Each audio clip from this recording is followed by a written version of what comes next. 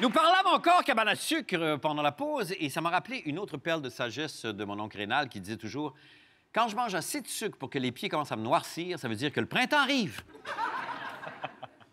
C'est un peu de ça euh, dont vous aviez envie de nous parler, je pense, ce soir, ou de gangrène ou de printemps, euh, Maude. Je, je sais pas, là. Presque, Marc. Oui, Vous savez, c'est le premier printemps depuis le hashtag moi aussi. oui, oui. Vrai?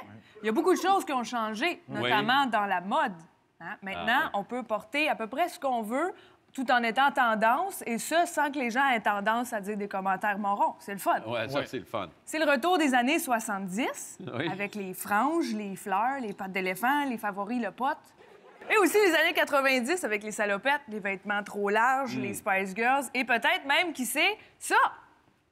Oh! oh! Non, mais c'est beau! Hey, ouais! Un beau mélange entre Al Pacino dans Scarface puis Mathusalem. Hein?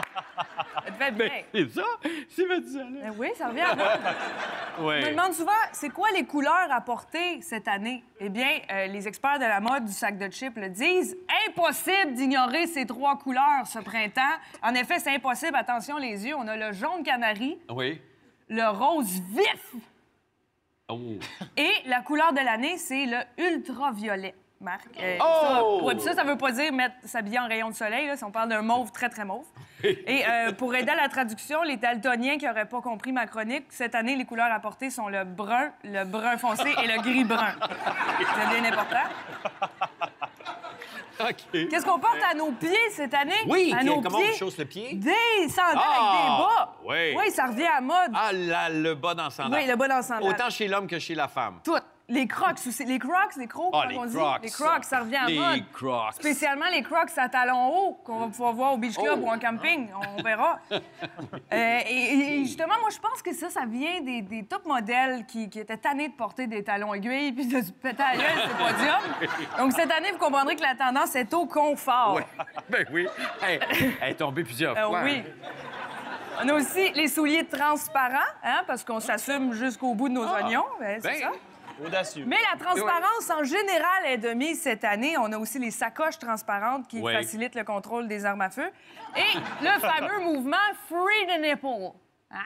Oh, free the Ben oui, on n'a pas froid aux yeux, mais on a, tu, tu peux frette au petit bout. Et euh, il y a aussi l'asymétrie qui est très à la mode. Et Ouais. l'asymétrie, à ne pas confondre avec l'asymétrie qui sonne exactement pareil, mais c'est le contraire. C'est pas symétrique. Et moi, ce mouvement-là, je l'appelle Free the Nipple. Oui, OK. C'était pour Pauloud.